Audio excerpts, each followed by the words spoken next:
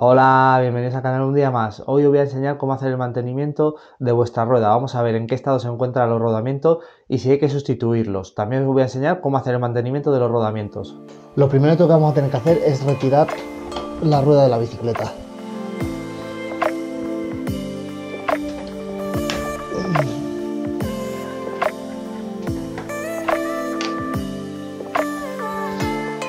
Aquí tenemos el eje una vez hemos quitado la rueda de la bici, lo siguiente que tenemos que quitar son estos casquillos que tiene la rueda que como veis gira, giran locos, van a presión. Para eso nos vamos a ayudar del mismo eje pasante, vamos a hacer un poco de palanca. ¿Veis? Aquí tenemos el casquillo que aprovecharemos para limpiar también. Ahora tendremos que comprobar en qué estado se encuentra el rodamiento. Si gira correctamente, hay que sustituirlo o en qué estado se encuentra. Vale, nosotros lo vamos a sustituir para ver cómo, tenéis que hacerlo. Aquí tenéis la herramienta que uso para extraer los rodamientos, es, es un extractor de rodamientos de moto, lo he comprado en AliExpress y ronda unos 20 euros de precio. Os va a servir para casi todas las medidas de los rodamientos que tiene la bici, para extraerlos adecuadamente. Para usarlo es muy sencillo, os lo voy a enseñar con el rodamiento quitado para que lo veáis bien. Tiene esta cabeza que se va a introducir el rodamiento, te trae varios tamaños, para diferentes rodamientos. Y luego, una vez que metamos esta varilla que va a rosca, se va a expandir y va a encajar en el, en el rodamiento. Una vez que lo tengamos así, usaremos este tubo que, sube, que funcionará de apoyo con esta arandela y con esta rosca. Entonces, como vais a ver ahora después, tendremos que sujetar la rosca y enroscar con, con un destornillador y así extraerá el rodamiento.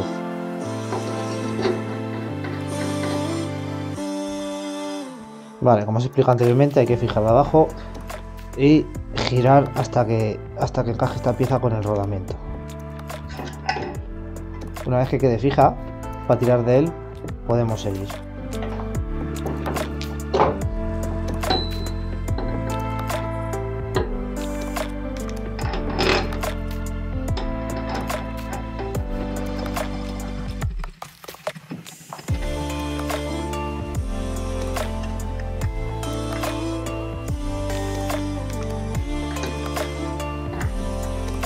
Sujetamos y giramos hasta que salga el rodamiento.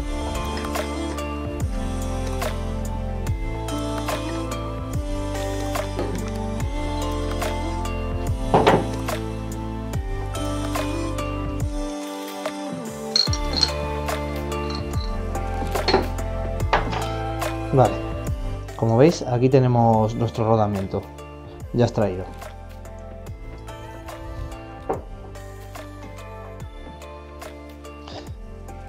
Aquí en el interior también tendremos esta pieza que habrá que, limpiar y engrasar con estas dos tóricas.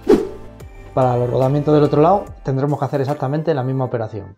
Si os fijáis, debajo de, la rueda he puesto un rollo de cinta de doble cara. Esto es para que no toque el disco con la mesa. Podéis poner cualquier rollo de, este tipo. Vale, ahora vamos a limpiar el alojamiento del rodamiento con papel para retirar la, la grasa vieja y la suciedad. También el interior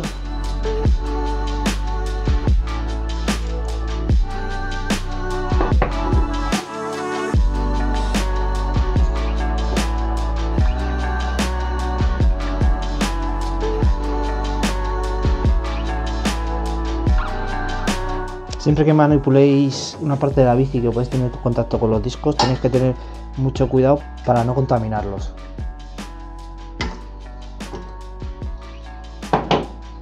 Y aquí tenemos el otro rodamiento. Vamos a limpiar por este lado para que quede perfecto. Vale, vamos a limpiar todas las piezas que hemos retirado, los casquillos que también cogen mucha suciedad. Luego le daremos una capita de grasa para que protejan un poco más al rodamiento los rodamientos, si estuvieran bien, pues también los limpiamos. Esta clase de rodamientos en una tienda de rodamientos industrial los vais a encontrar mucho más baratos y van a ser al final de la, misma calidad. Hay gente que repara los rodamientos o se les puede hacer el mantenimiento, claro. Lo primero que hay que hacer de todo es retirar la tapita que llevan, ayudándonos con un cúter.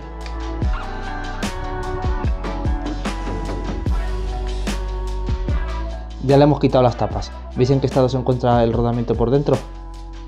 Lleno de suciedad, pues vamos a limpiarlo. con alcohol isopropílico y con un cepillito vamos a, a frotar.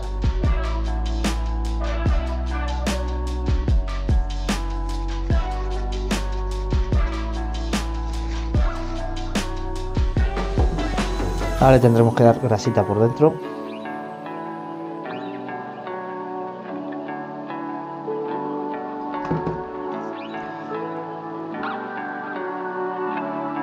Le ponemos la tapita de este lado.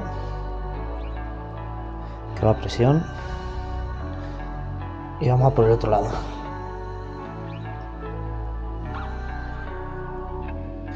Le ponemos la tapa de este lado y limpiamos el sobrante de grasa. ¿Veis? Ha quedado el rodamiento perfecto. Ahora tendremos que montar otra vez los rodamientos y el separador que tenía en medio. Yo para eso uso una prensa de este tipo que la compré también en AliExpress. El enlace de todas las herramientas os la dejaré en la caja de descripción. Pero también no veis que no deja de ser una varilla roscada con unas arandelas, así que la podéis fabricar vosotros mismos. Vamos a engrasar el alojamiento.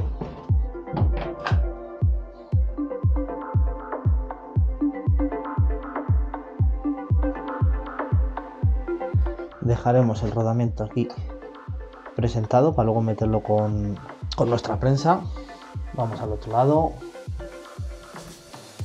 Ponemos el separador también lo engrasamos bien. Todas las partes que tienen fricción al final hay que engrasarlas. Aquí estoy usando grasa de, montaje. De tal manera si tenéis dudas sobre qué grasas usar en, en, vuestras bicicletas por ahí arriba os dejo un vídeo que os explico las que uso yo para cada zona vale y pondremos el otro rodamiento grasita en el alojamiento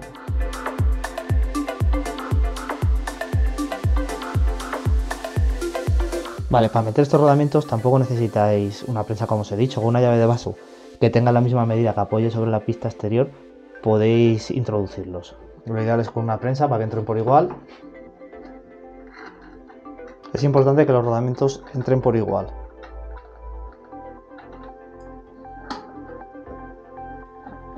Como veis lleva una especie de trocas esta prensa que tendremos que sujetar por un lado y apretar por el otro para que los rodamientos vayan entrando.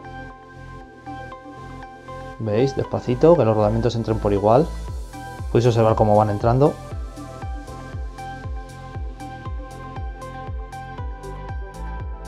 hasta que haga tope, tampoco hay que apretar en exceso. Ahí ya ha hecho tope, retiramos la troca de un lado.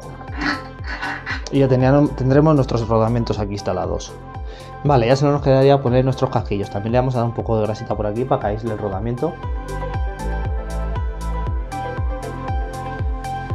Y estos casquillos van a presión. Lo ideal si tenéis una llave de vaso de esta medida para empujar la arandela sería perfecto. Como en este caso veis. Y siempre con un podéis golpear con, siempre con un martillo de nylon Perfecto, ya tendríamos este casquillo y nos faltaría el del otro lado.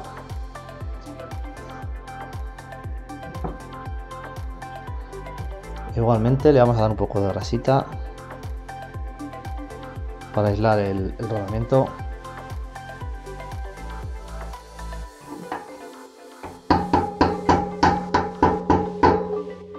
Y listo, ya tendríamos nuestra rueda.